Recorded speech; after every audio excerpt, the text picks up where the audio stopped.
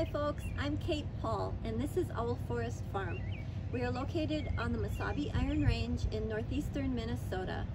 In 2018 we received a grant, a Sustainable Agriculture Demonstration Grant through the Minnesota Department of Agriculture for a project called Peonies for Profitable Cut Flower Production in northeastern Minnesota. And today I would love to give you a tour of our peony project.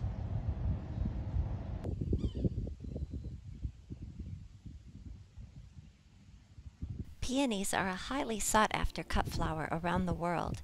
The number of peony stems sold in the international cut flower market has been increasing in recent years. Peonies are winter hardy and incredibly long lived plants, often living for over a century. Grown in USDA zones 2 through 8, they need an extended period of cold during the winter in order to go dormant and rebloom again the next year. In warmer zones in the United States as well as Denmark, peonies bloom mainly in May and June. New Zealand's peony market is in November and December. In Chile, peonies are ready for market in January and February. In Zone 3 in northern Minnesota, there is potential to harvest peonies late spring to late summer. This seasonal advantage is similar to Alaska's, and it would help fill a niche in the market when supplies are low or non existent elsewhere. For wholesale sales and for shipments, peonies are best harvested in the soft bud stage. If they're too hard, they won't open properly after storage, and if they're too soft, they won't last long enough. For long-term storage, the peonies are stripped of their leaves and they're packaged dry with no water. They will store in a 38 degree cooler for up to four weeks if they're packaged properly.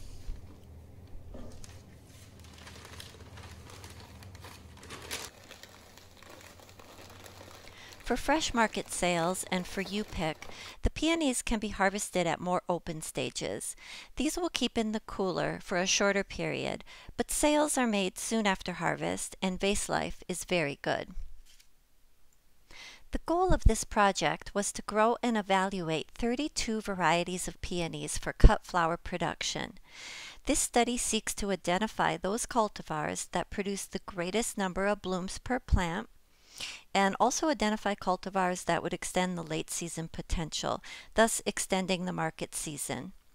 This project has the potential to serve as a benchmark for kickstarting a new commercial enterprise in Minnesota that would support small farms and promote USA grown peonies. In the fall of 2018, the ground was prepared. Landscape fabric was laid down on the prepared beds, and the sides were secured into the trenches and recovered with soil. For each bed, holes were marked two feet apart to create a double row, and then 11 inch holes were burned in the fabric.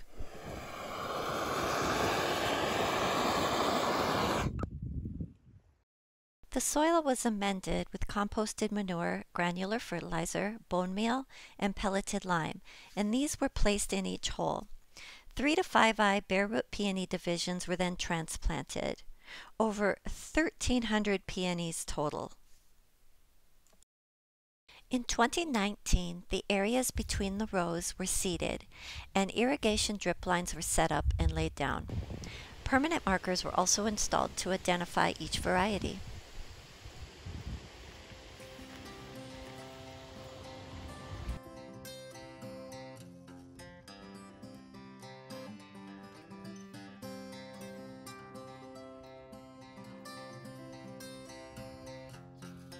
Weeding the peonies is a constant chore and it takes a considerable amount of time.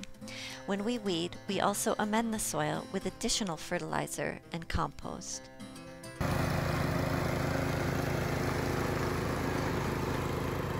Another steady chore is keeping the rows between the peonies mowed and groomed all season long. Data collection was conducted in the 2020 growing season, and it consisted of counting the number of harvestable blooms for each cultivar twice per week. Total mean blooms per cultivar were then calculated for each bloom count session. A single factor one-way ANOVA, or analysis of variance test, was conducted to compare the mean blooms of the 32 cultivars during each of their peak bloom count sessions. A post hoc test was then performed to determine which cultivars had significantly more blooms than others. The test results showed that there are two groups of peonies that performed better than the others. The five varieties in Group 1 outperformed all other varieties, and the 11 varieties in Group 2 outperformed the other 17 varieties. The peak overall bloom time was June 21st, followed by June 24th.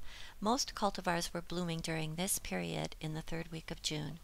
This is significant because it verifies that regardless of the cultivar, bloom time is later in northeastern Minnesota compared to the majority of the lower 48 states. If harvested in late June and stored properly, peonies in this climate would be available for market sales well into July when peony production has ended in many other states.